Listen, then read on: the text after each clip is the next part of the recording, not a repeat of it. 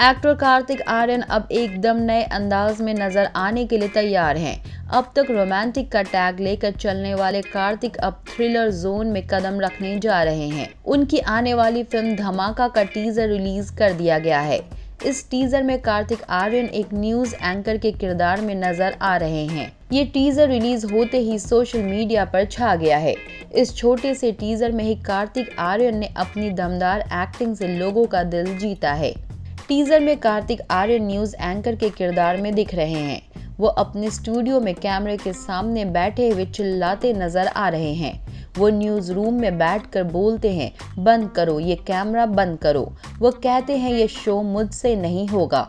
लेकिन सामने खड़ी टीम उनका हौसला बढ़ाती है और टीजर के आखिरी में कार्तिक कहते हैं, मैं हूँ अर्जुन पाठक, भरोसा 24/7 से जो भी कहूँगा, सच कहूँगा। कार्तिक आर्यन ने फ़िल्म धमाका का टीजर खुद ही अपनी इंस्टाग्राम वॉल पर शेयर किया है, जिसके कैप्शन में उन्होंने लिखा है, मैं हूँ अर्जुन पाठक, जो भी कहूँगा सच कहूँगा। धमाका जल्दी नेटफ्लिक्स पर आ रही है। आपको बता दें कि ये वही डायलॉग है जो टीजर के अंत में कार्तिक बोलते दिख रहे हैं।